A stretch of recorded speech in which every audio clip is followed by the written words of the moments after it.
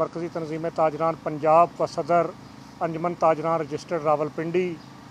जनाब जायद बख्तावरी साहब जनाब तायर ताज भट्टी साहब रावलपिंडी की मुख्तलिफ़ एसोसिएशन के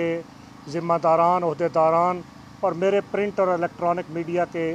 भाइयों दोस्तों और बुज़ुर्गों सबसे पहले तो मैं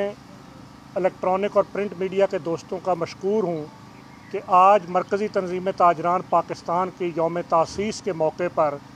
आप तमाम दोस्त ताजरों के मसाइल के हवाले से और ताजरों को दरपेश मुश्किल के हवाले से यहाँ पर तशरीफ़ लाए हैं।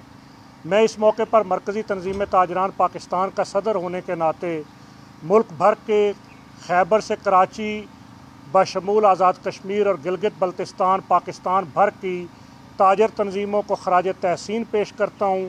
उनको मुबारकबाद पेश करता हूँ कि गुज्त साल 30 जून 2019 को जब मुल्तान की शदीद गर्मी के अंदर मरकज़ी तनजीम ताजरान पाकिस्तान का इंतखब मनद हुआ तो पाकिस्तान के उस माहौल के अंदर कि जहाँ गैर जमहूरी कल्चर इस मुल्क के अंदर परवान चढ़ता रहा और मुख्तलिफ़ तनजीमें चाहे किसी भी तबके की हों, वो बग़ैर इंतबात के अंदर वजूद में आती रहीं।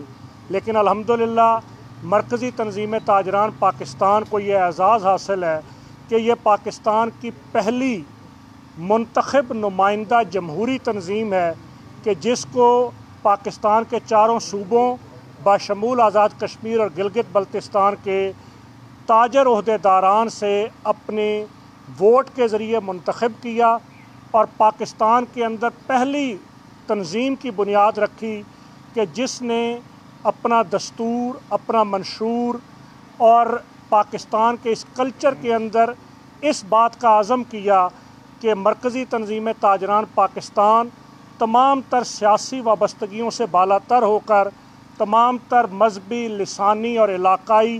तसबात से बालातर होकर, वो सिर्फ़ ताजर काज के लिए जद्दोजहद करेगी। ताजरों के मसाइल के लिए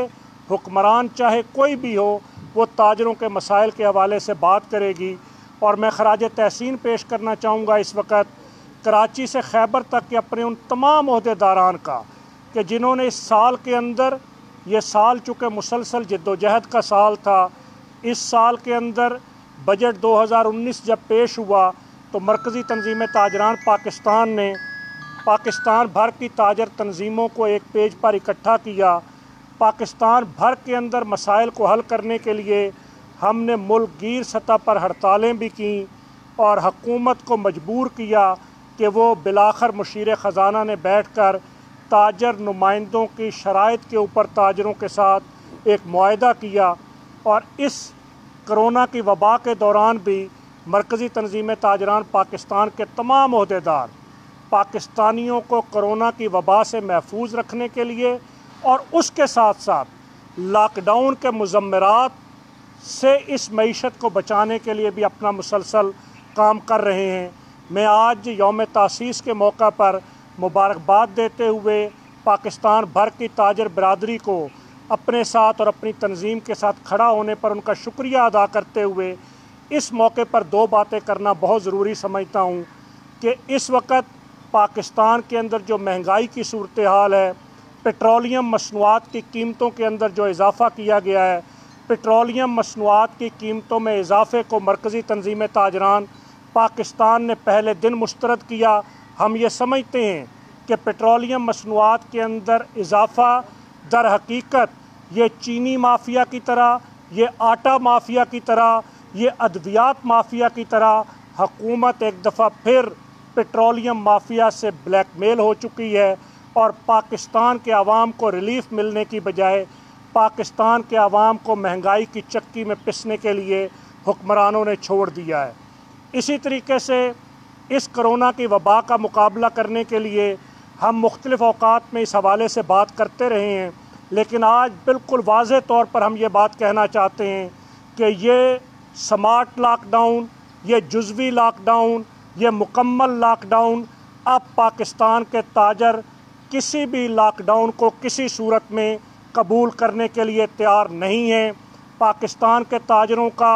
बहुत इस्तेसाल हो चुका है। अब हम मज़ीद इस्तेसाल पाकिस्तान के ताजरों का नहीं होने देंगे। हम वफाकी और सूबाई हुकूमतों को वाज तौर पर यह पैगाम देते हैं कि मुल्क के अंदर जहाँ जहाँ लॉकडाउन मौजूद है, इस लॉकडाउन को फौरी तौर पर ख़त्म किया जाए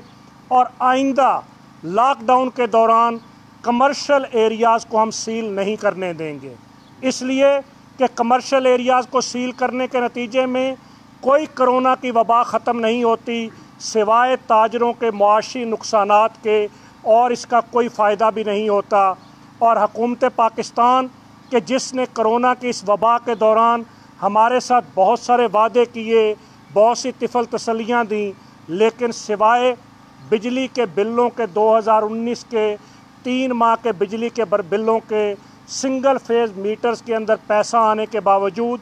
ना तो ताजरों को किरायों के अंदर कोई रिलीफ दिया गया,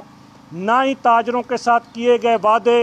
बिला सूद कर्ज़ों की तरफ़ जाया गया, ना ही इस मुल्क के अंदर शरह सूद को कम किया गया, ना ही सनती और पैदावारी लागत को कम करने के लिए टैक्सेस के ख़ात्मे का ऐलान किया गया। और किरायों की अगर बात करूँ तो वो किराए जो हुकूमती बिल्डिंग्स के अंदर थे जिसके अंदर म्यूनसिपल कॉरपोरेशन हो, महकमा अवकाफ़ हो, कंटोनमेंट बोर्ड हो, उन किरायों को भी नहीं छोड़ा गया। इसलिए हम हकूमत से ये मुतालबा करते हैं कि फौरी तौर पर हकूमत मुआशी रिलीफ पैकेज का ऐलान करे, ताजरों के, किरायों के हवाले से, मुलाजमीन की तनख्वाहों के हवाले से रिलीफ पैकेज का ऐलान करे और जिस तरह बड़े सनतकारों को स्टेट बैंक ने कर्ज़े देने का ऐलान किया है पाकिस्तान के छोटे ताजरों के लिए हम कोई भीख नहीं मांगते। हम ये कहते हैं कि छोटे ताजरों के लिए स्टेट